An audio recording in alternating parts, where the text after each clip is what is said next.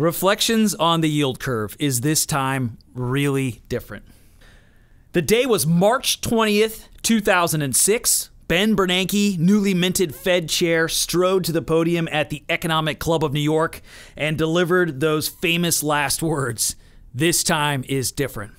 The occasion was just after the three month T bill to 10 year Treasury yield curve had inverted at the end of February of that year. And many were wondering at the time if the inverted yield curve was a harbinger of a recession to come. Bernanke concluded no, but to be fair, he didn't exactly say this time is different. He just said that the signal from the yield curve was ambiguous. As we all know now, the recession began just 18 months after Bernanke left the podium in December of 2007, and it was the worst recession of the post war era. Bernanke wasn't the only one who got it wrong. Many investors missed the recession.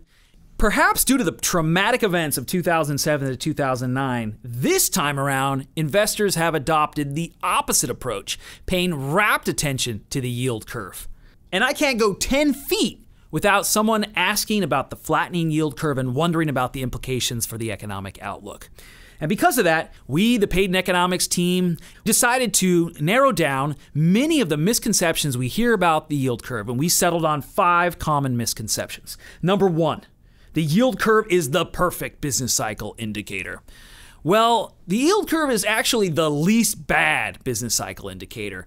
The three month to 10 year yield curve has an excellent track record in the post war era. The curve inversion preceded every recession in the post war era, with one exception the credit crunch of 1966, where the yield curve inverted without a recession following. But the yield curve has a less than stellar track record before. There are a number of false negatives. And Globally, yield curves are less useful. For example, in Australia, we've seen yield curve invert three times in the past 27 years without an official recession following. Also, it's worth noting that the time between a yield curve inversion and the start of the recession is long and variable. Last cycle, it was 18 months. On average, it's been 10 to 12 months after an inversion when a recession begins. Number two, people say, okay, inversions aside, a flatter yield curve tells us something important about the economy. Again, we don't think so. We can't find a relationship between the slope of the yield curve and economic growth. Think of it this way the yield curve has been flattening relentlessly in the past three years, and economic growth has accelerated. The third misconception people say, okay, forget about inversion, forget about recession, forget about whether a flat curve tells us something about GDP growth the flat curve is going to have an impact on financial markets. And as investors, we have to care about financial markets.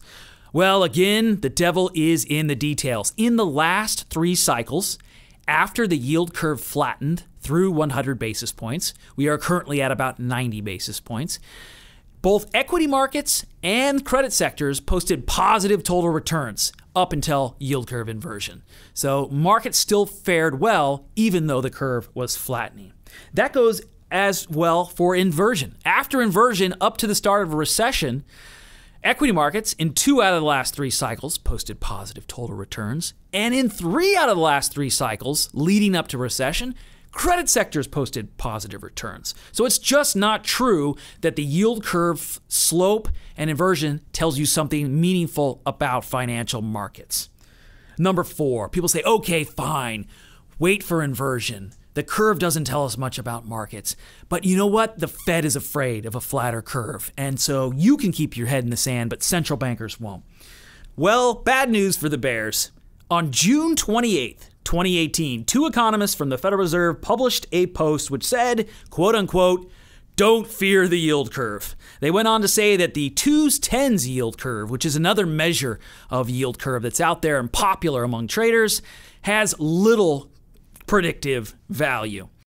They also suggested that policymakers should focus on the near term forward spread, which is the spread between implied forward rates on T bills six quarters out and the current rate on a three month T bill.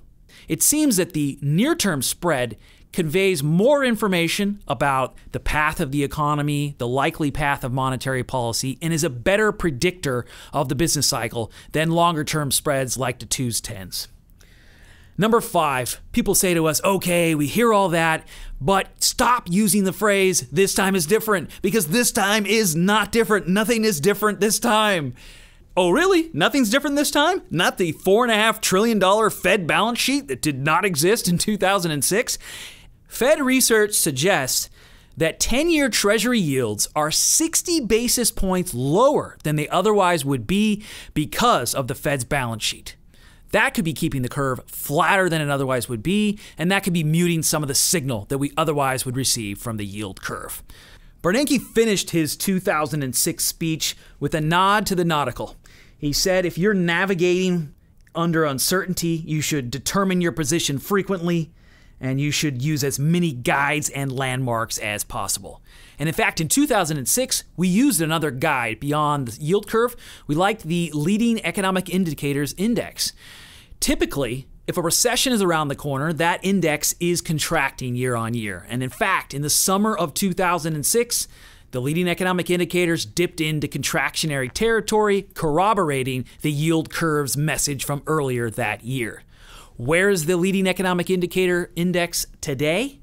It's up 6% year on year in positive territory and not signaling a recession in the near future. So, yes, it's possible that the yield curve inverts in the months ahead, and it's possible that we enter a recession in the not too distant future. But from where we stand today, the yield curve is still positively sloped. The other indicators which we're checking our bearings with are still pointing to positive growth. That is the leading economic indicators. So we think we have the all clear over the next 12 to 18 months. This is the Payden Economics team signing off.